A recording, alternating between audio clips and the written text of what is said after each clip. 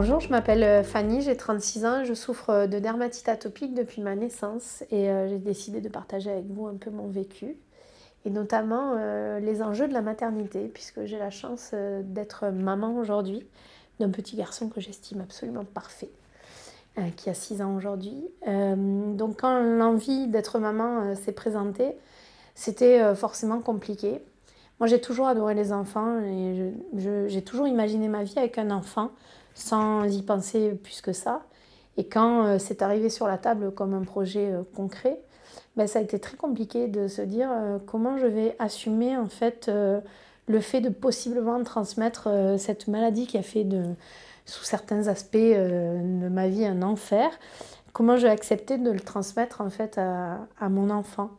Et donc j'ai essayé de me rassurer par le, le corps médical, mais les propos n'étaient pas très rassurants, euh, du genre euh, ben, une chance sur deux, ou euh, il faut, vous avez un gros terrain atopique, donc idéalement il faudrait un papa qui ait une peau mate et parfaitement saine. et bon, moi, avec mon chéri qui a une peau blanche et très sensible, je me suis dit, bon, où est-ce qu'on s'aventure? Et puis, ben, à un moment, je me suis sentie une femme comme les autres et je me suis juste dit l'envie en fait d'avoir cet enfant est plus forte que tout.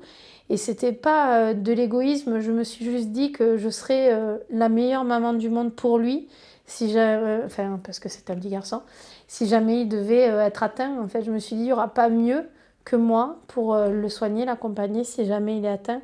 De par tout mon vécu thérapeutique, j'éviterai les écueils dans les dans lesquels, euh, hélas, mes parents ont été euh, par euh, ignorance et par découverte de la maladie. Je pense que voilà, je me suis juste dit, et puis s'il faut, à la loterie de la génétique, il n'aura rien du tout puisque c'est possible.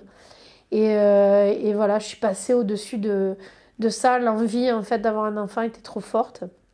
Et, et en fait, j'ai vécu une grossesse extrêmement épanouissante. J'étais très bien dans ma peau, c'est cas de le dire. Mais pour autant, mon eczéma ne s'est pas du tout arrêté pendant ma grossesse. Hein, il était comme d'habitude. Mais euh, moi, j'ai eu une espèce de mantra toute ma grossesse, et de, comme une méthode couée, de me dire euh, cet enfant, il n'aura rien, cet enfant, il n'aura rien. Je voulais être très positive sur lui. Et je dirais, je ferais tout pour, que, pour, pour lui éviter mes allergies, etc. Donc, on m'avait parlé de l'allaitement. Donc j'étais une ayatollah de l'allaitement et je voulais l'allaiter pendant six mois, coûte que coûte, et je l'ai allaité neuf mois. Donc bref, voilà, j'étais très positive autour de cette grossesse en me disant euh, il aura rien, il aura rien, il aura rien. Et il se trouve que euh, il a rien eu. voilà, miracle de la vie. Et je vis mon fils comme un cadeau en me disant euh, voilà, la vie n'a pas toujours été très sympa avec moi, mais en m'envoyant cet enfant qui n'a rien, ben, elle m'a fait le plus beau cadeau qu'on pouvait me faire. Et euh, voilà, je ne dis pas que les premières semaines n'ont pas été extrêmement inquiétantes parce qu'évidemment, il a une peau un peu blanche, un peu fragile, un peu réactive.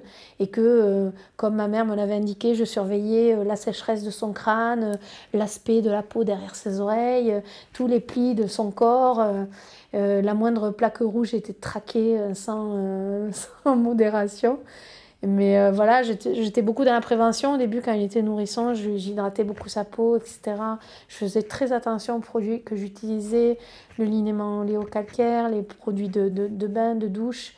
Et voilà, même si euh, euh, c'était parfois handicapant, par exemple, c'était difficile pour moi de lui donner le bain à cause de, de, mon eczéma sur les mains, etc. Ben, cet enfant a, a, vraiment illuminé ma vie, quoi. Il a été quelque chose de très positif euh, qui m'est arrivé. Et aujourd'hui, c'est un enfant parfaitement sain, qui a un rapport très sain aussi euh, par rapport à ma maladie, où il dit, ben voilà, maman, euh, elle a ça. Pour lui, c'est c'est pareil que de dire maman elle a cinq doigts ou, ou, deux pieds voilà pour lui ça fait partie de son quotidien et il n'est pas il pas du tout impacté par tout ça et et c'est génial. Donc la maternité, euh, en ayant de la dermatite atopique, c'est possible.